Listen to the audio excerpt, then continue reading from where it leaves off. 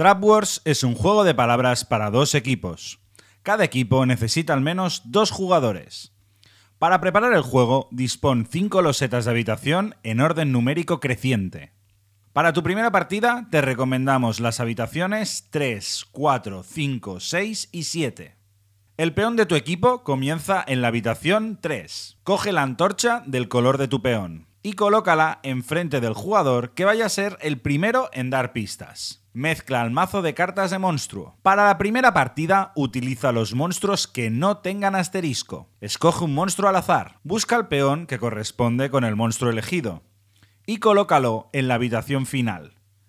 Mezcla las cartas de maldición, Escoge dos al azar y coloca una boca abajo y sin mirarla al lado de la segunda habitación y la otra al lado de la habitación que está justo antes del monstruo. Cada equipo necesitará una hoja de Trapwords y también un lápiz. Trapwords tiene dos sets distintos de palabras que se mezclan juntas en ambos lados de las cartas. Si escoges este libro, jugarás con el set medieval y fantástico de palabras. El otro libro tiene palabras más normales que no se adecuan a un universo medieval. Escoge con qué libro quieres jugar. Ambos equipos deben jugar con el mismo tipo de libro. Ahora empieza la partida. Cada equipo debe robar una carta de palabra a la vez del mazo e insertarla dentro de su libro. Tu libro ha escogido mágicamente una de las ocho palabras en este lado de la carta. Esta es la palabra mágica que el otro equipo debe adivinar.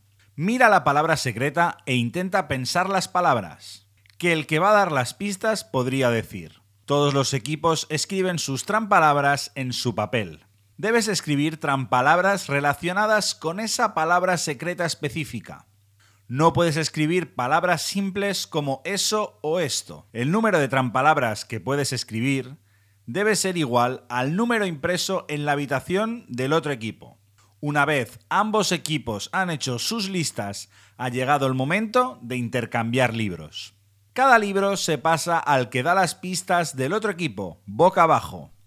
No deben mirarlo aún. Ahora es el momento en el que se dan las pistas.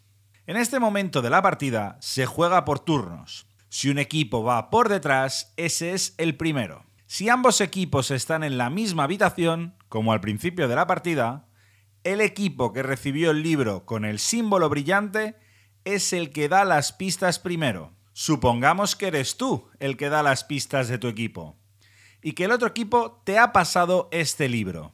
Cógelo y mira la palabra sin enseñarla al resto de tu equipo. Tras algunos segundos, el otro equipo empezará la cuenta atrás. Ahora tienes que dar pistas a tu equipo para ayudarle a intentar adivinar de qué palabra se trata. No se te permite decir la palabra propiamente o ninguna otra forma de la palabra. Y, por supuesto, estás intentando evitar las trampalabras, pero no sabes cuáles son. El otro equipo mantiene su lista en secreto. Puedes dar tantas pistas como quieras. Mientras das pistas, los miembros de tu equipo intentan adivinar la palabra. Cualquiera puede adivinar en voz alta. No es necesario hacerlo por turnos, aunque deben adivinar de forma cuidadosa porque solo se les permite un máximo de 5 intentos.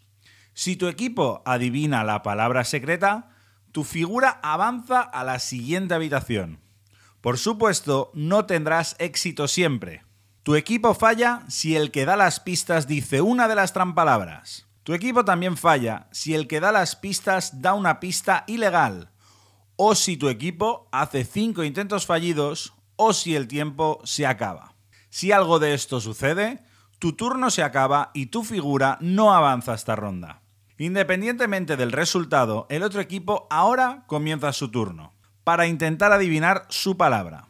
Si ningún equipo avanza durante la ronda, mueve al monstruo una habitación hacia los jugadores. Si uno o ambos equipos avanzan, el monstruo se queda donde está.